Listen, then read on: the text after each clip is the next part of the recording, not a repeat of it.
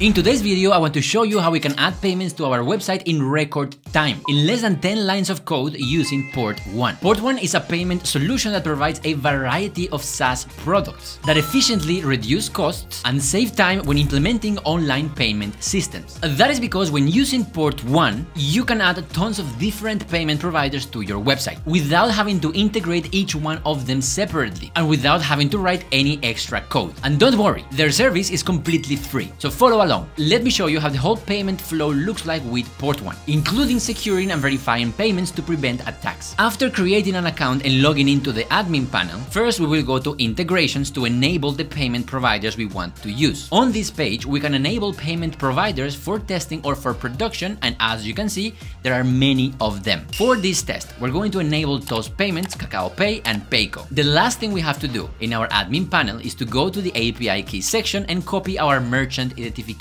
code and the API key and API secret that we will use later. Now, let's write some code. On the HTML, after the Pay Now button, we're going to first add the PortOne SDK followed by our JavaScript code. When the PortOne SDK is installed, it will create a global variable called IMP, which is how we're going to interact with PortOne. We are going to initialize it by using the merchant ID that we copied from our API key page before. Then we're going to grab the button and add an event listener to it. So the function onClickPay runs when the user clicks on the button. Inside onClickPay is where we are going to call the super awesome and powerful request pay function that is inside of the IMP variable. This function accepts a configuration object with all the options for a payment request. You can pass lots of options to this object, so I recommend you check the PortOne documentation website where you can see them all what they do and when to use them. For now, we're going to pass the most important and required options to make a payment request. First is the PG, the payment gateway. Here we are going to pass the code of the payment gateway that is enabled in our admin panel and that we want to use. All the possible codes are easy to find on the PortOne documentation. In our case, we write Kakao Pay. Then for pay method, we are going to use card, which again, I found on the documentation, where there are also many options to choose from depending on the gateway we use. After that, we have amount, which is the total amount of money we will request and the product name, what the user will pay for. Finally, we pass the merchant UID, which is the ID of the order in our backend. This is useful to connect payments on PortOne with orders in our backend, our admin panel. That is it. So now all we have to do is click the button and see Kakao Pay show up with the QR code to pay from our phone. We can now change the PG setting from Kakao Pay to Toss Payments. And as you can see, it will work just as well. Also, if you have a PG already in place, you can implement mobile payments from there as well, and it will work just fine. Crazy easy. With the code as it is, the user will be able to pay us, but we have to add some extra things to the configuration object to make it more complete. And we also need to pass a function that will run some extra code after the payment is completed. Here we are passing information about the buyer, like the email, name, telephone, and more if we have it. Now it's time for the callbacks. As a second second argument of the request pay function, we will pass a function that will take a response parameter. This function will be called when the user pays successfully, when the user is not able to pay, or when the user simply closes the payment window. Inside of the response object, we will get information about what the user did so we can react accordingly. On the PortOne documentation website, you can find all the properties and what they mean. For this example, we will get the error message property to show to the user an alert if something went wrong. If the status is paid, we will get get the IMP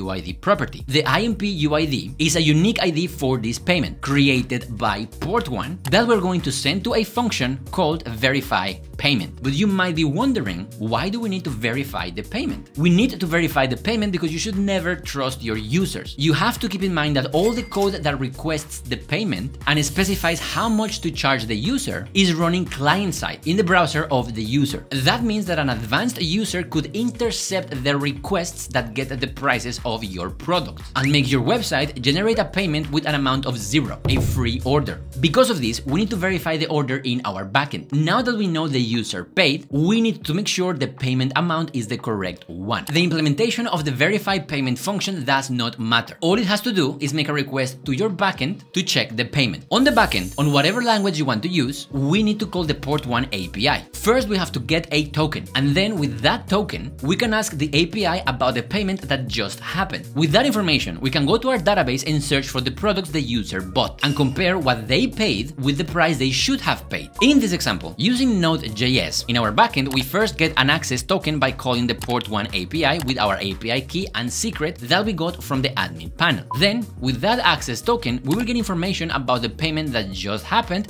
from the PortOne API using the IMP UID property we sent from our frontend. We can now get information about the payment and we can check that against our database. We are getting the amount, which is how much the user finally paid, and we are also getting the name and the merchant UID. To find the product the user bought, if they only bought one, we could use the name. Or if the user has a shopping cart, we can use the merchant UID, which should be the ID of the order in our backend that has all the products the user paid for. In our case, as you remember, the user was just buying one Meon Ramion for Yukman 1. So in our backend, we can just find that product in our database and check its price with how much the user paid. All we have to do is check if the price of the product in our database is the same as the amount the user paid. If it is the same, we will ship the package and send a 200 OK HTTP response. Else, we will report a forged payment and send a 400 bad request HTTP response. Your implementation on the backend might be different. You might have a shopping cart model, you might have coupons you have to apply to the price, sales, etc. The point is, on the backend is where you can verify that the user paid what they were supposed to pay. So to recap, the user pays on the browser. From the browser, we trigger a function that will check the payment on the backend. In our backend, we get an access token from PortOne and then request information about the payment that just happened. With that information, we check if what the user paid is correct or not, and we're done. There are a couple more things we should do to make sure our payment flow is perfect. One of those is to handle mobile payments. For this, back in our browser, when we request a payment, we have to add the m redirect URL property. We do this because on mobile browsers, the payment providers are going to redirect the users to their websites or app. And then after the payment is completed,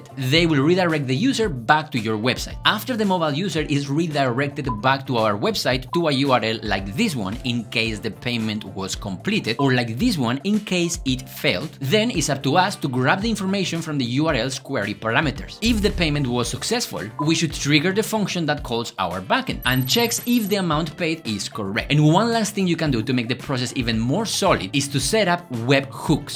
Webhooks are super useful in case the user pays and leaves your website immediately, not giving time for the verify payment function to run, or if their phone dies immediately after they pay, or if they enter an elevator and lose connection. Using a webhook, PortOne will notify you separately that a new payment has come in, and you can check in your backend if you have already processed it or not. To see how to enable webhooks, check out the documentation on the PortOne website. I am personally using PortOne for my service, and it saves us tons of time and allows us to support multiple payment providers with very little adjustments to the code. Recently, there are new products such as Analytics and Partnered Settlement which utilize payment data. That is exciting. You can test all these payment solutions for free by simply signing up for PortOne. I've posted a sign up link below, so please go and check it out. That's it for this video. If you found it useful, please like it, share it with your friends, and subscribe to the channel. Thank you for watching, and thanks to Port One for sponsoring this video. On Kamsahago, Sarang Hamida, see you on the next one. Down bye. Bye bye.